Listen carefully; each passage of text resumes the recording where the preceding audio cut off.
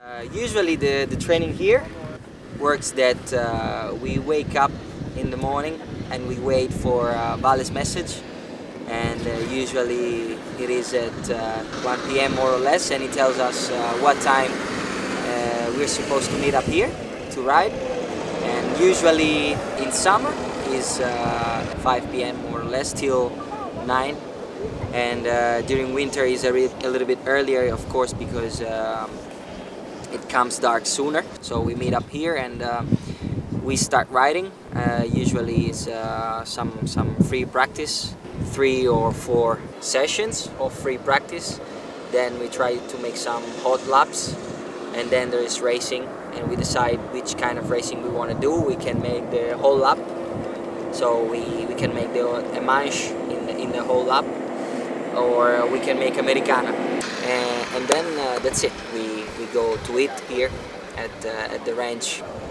flat track is important because you get used to to the rear tire spinning and to the bike going sideways and you get used to, to this feeling and uh, yeah, you are less scared when uh, when this happens to you on, on real racing on real tracks. It's it's basically something that that you that you improve and then you get better at but there is not a specific moment in the race that you use the skill that you learn here. I think that the whole race the whole practice the whole weekend you you have absorbed this kind of skill and you can use it whenever you want.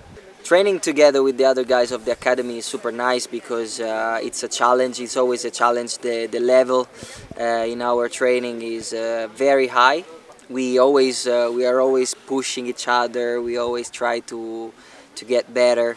It's a thing that um makes you improve a lot. It's a thing that uh, makes you work better and uh, also makes you work with a better attitude because you're between friends and uh, you're just uh, you're basically having fun with friends while you're training you train better because you're training with great riders so it's a, it's a great it's a great uh, thing and it's a super useful thing.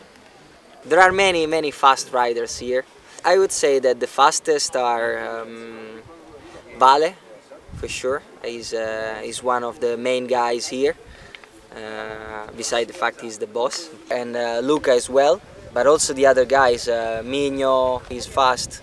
Bezze uh, Cele uh, Manzi. We are all we are all very fast, um, but I think that the main guys are Vale and Luca. This track is unique, so whatever you do here, uh, you cannot do on any on any, on any track in the world. I mean, uh, there is no such a such a structure and uh, such a surface, such a kind of track, such a such a layout as this one.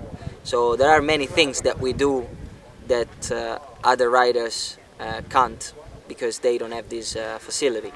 It is definitely like dancing uh, because you you move a lot on the bike. Especially uh, I do it because I have a strange kind of riding style here that, here at the ranch. I I move a lot with my with my hips, follow the bike, so to do something good together. And here is a continuous uh, movement, so it might look like a dance. I met Vale when I was uh, 13. Uh, I started training uh, at uh, his previous track. It was called Cava. It was 2009 or something like this. I started training with him first on the track, then on the gym. Then he wanted to help me also on on the manager side. So things escalated slowly and step by step. I was really, really excited to be able to ride uh, with him, with uh, Sitch, with Simoncelli. I was uh, super excited.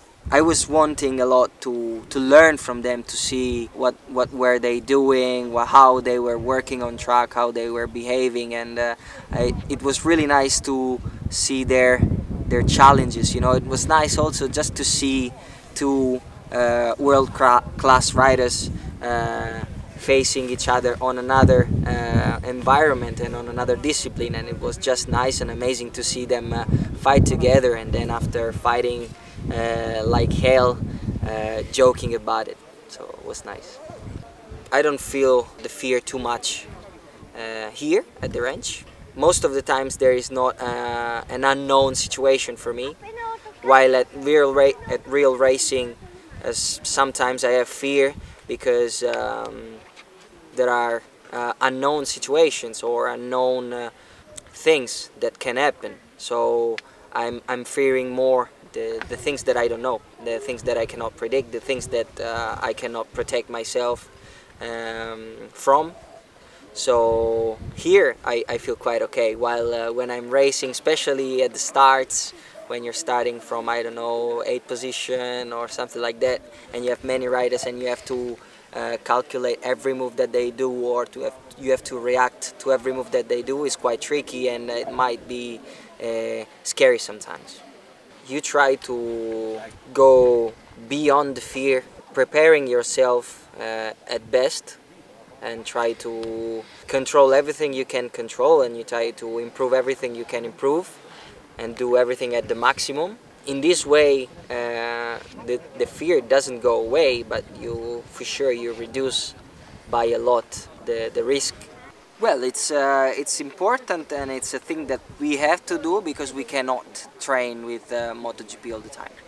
There are disciplines that are really uh, useful but also dangerous like uh, motocross and there are disciplines that are uh, maybe a bit less useful but still nice um, and there are disciplines like this one I think uh, that uh, are useful and not so uh, dangerous for the rider. So we need to adapt ourselves. Also is nice to sometimes change, change discipline and do something else.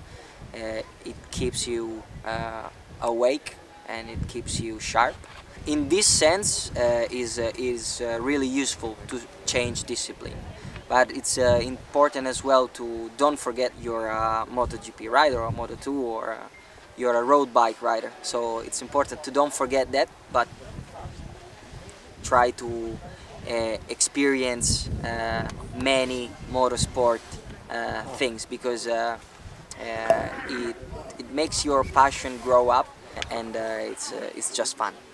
I really like motocross and I'm, I'm not great at it. I'm, I just practice it and I, I try to be averagely fast, but not not too fast. I try to don't risk too much. So I try to, to usually to don't over push with MX.